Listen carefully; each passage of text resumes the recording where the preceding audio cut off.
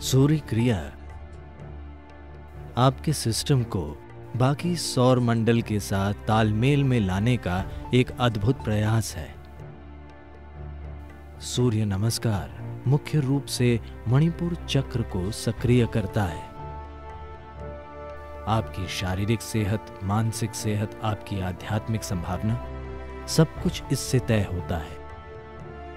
सूर्य क्रिया बुनियादी अभ्यास है। सूर्य नमस्कार, उसका सरल रूप है।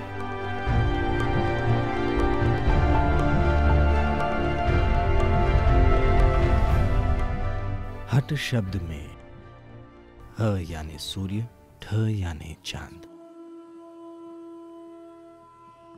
सूर्य और चाँद के बिना कोई हट योग नहीं होता। तो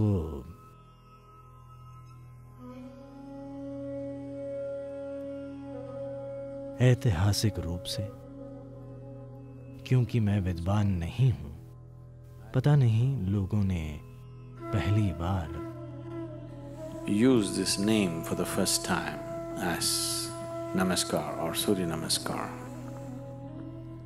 कब सूर्य नमस्कार नाम का इस्तेमाल किया था पर अलग अलग जगहों में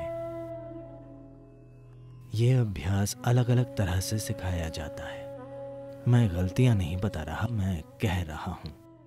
इसे अलग अलग जगहों में अलग अलग वजहों से, जानबूझकर अलग अलग तरीकों से सिखाया जाता है। आश्रम में मुझे लगता है, लोग चार अलग अलग तरह के सूर्य नमस्कार का अभ्यास करते हैं। मैं एक अलग तरह का सूर्य नमस्कार करता हूँ, यानी पाँच तरीके। ज़्यादातर इसे सूर्य नमस्कार कहते हैं क्योंकि ये मुख्य रूप से मणिपुर चक्र सक्रिय करने, सिस्टम में गर्मी पैदा करने और समत प्राण या ऊष्मा बढ़ाने के लिए है। सौर शब्द सिर्फ़ एक प्रतीक नहीं है।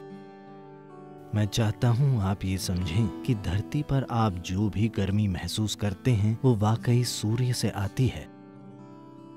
जो कई तरीकों से इकट्ठी और मुक्त होती है। या हाइड्रोकार्बन्स का रूप ऐसा इसलिए है क्योंकि वे सूर्य में पके हुए हैं।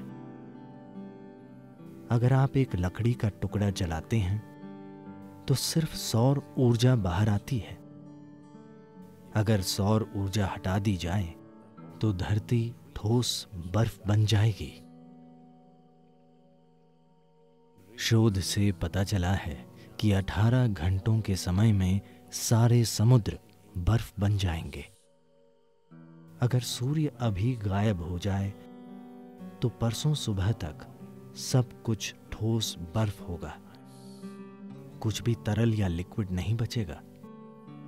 तो सब कुछ सौर ऊर्जा से चलता है। शायद आप सोचें कि हम थर्मल या गैस से पावर पैदा कर रहे हैं? नहीं, सब कुछ सौर ऊर्जा से हो रहा है। मुझे ये पक्का तो नहीं पता। मैं इसकी बारीकियाँ जानना चाहूँगा, पर अकेला उपवाद शायद अणु का टूटना हो सकता है। ये सौर नहीं है। और तभी इसे सबसे प्रभावी और खतरनाक माना जाता है। क्योंकि उसमें इस सिस्टम के सामान्य ऊर्जा भंडार का उपयोग नहीं किया जाता जो कि सूर्य है So, when we activate the sun in the system, the body begins to glow and shine. जब हम सिस्टम में सूर्य को सक्रिय कर देते हैं तब शरीर दमकने लगता है अगर आपको कुछ ऐसी समस्याएँ हैं जो आमतौर पर सिस्टम में ज़्यादा बलगम के रूप में प्रकट होती हैं, सिर्फ़ नाक में ही नहीं, हर जगह बलगम बढ़ सकता है। जो व्यक्ति सूर्य नमस्कार करता है, उसके ग्लैंड से निकलने वाले स्राव और बलगम के स्तर बहुत आसानी से संतुलित और ठीक रहते हैं। इससे सिर्फ़ शारीरिक सेहत ही नहीं, कई चीज़ें तय होती हैं।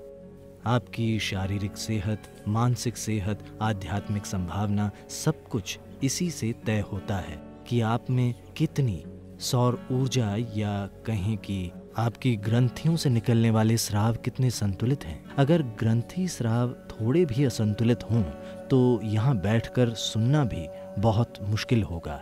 ध्यान या कुछ और करना तो दूर की बात है।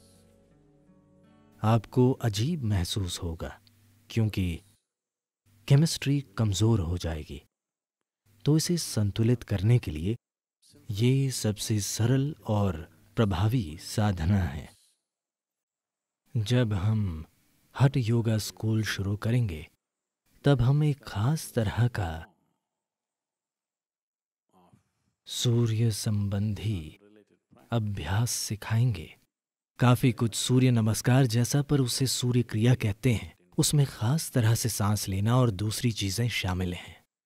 सूर्य क्रिया आपके सिस्टम को पूरे सौर मंडल के तालमेल में लाने का एक अद्भुत प्रयास है। सूर्य नमस्कार और सूर्य शक्ति, ये दोनों अभ्यास दूर के रिश्तेदार हैं। अगर आप लोगों को बारीक चीज़ें बताएँगे तो हर कोई नहीं समझेगा तो उन्हें थोड़ा सरल बनाया गया है। अगर आप अपने और बड़े सिस्टम के बीच एक तालमेल बना लेते हैं, ये छोटा सिस्टम है और बड़ा सिस्टम सौर मंडल है।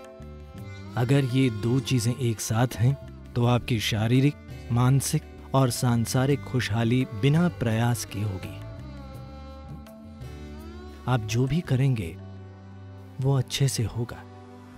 सूर्य क्रिया बुनियादी अभ्यास है। सूर्य नमस्कार उसका सरल रूप है। सूर्य शक्ति को मांसपेशियों और शरीर बनाने के लिए थोड़ा और सरल किया गया है। उसकी प्रकृति काफ़ी कसरती है, वो एक पूरी एक्सरसाइज है। उसके लिए कोई उपकरण ज़रूरी नहीं है। आप किसी होटल के कमरे में हों या जहाँ भी हों, आप सूर्य नमस्कार या सूर्य शक्ति कीजिए। आप खुद को बिल्कुल फिट पाएँगे।